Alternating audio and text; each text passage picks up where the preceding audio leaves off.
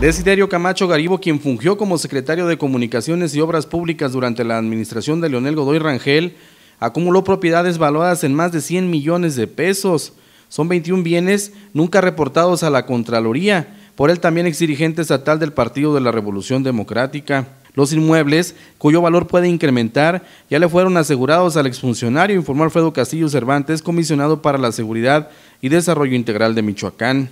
Se le pudo detectar a la persona hoy detenida a través del informe emitido por la Dirección de Ingresos del Gobierno del Estado que esta persona detentaba más de ocho vehículos de lujo de reciente modelo, así como una lancha para pesca deportiva. A Camacho Garibo también le aseguraron terrenos, una escuela y un hospital construido en 2010 cuando era miembro del gabinete estatal. El ex servidor público realizó una inversión al capital de la sociedad que tiene constituida con su familia por 15.9 millones de pesos para la construcción de una clínica denominada Centro Médico de Especialidades Santa Clara, ubicada en el municipio de Lázaro Cárdenas. Lauro Payares Ramos, fiscal para asuntos especiales de la Procuraduría de Justicia de Michoacán, explicó que Desiderio Camacho es presunto responsable de enriquecimiento ilícito y lavado de dinero. Durante su periodo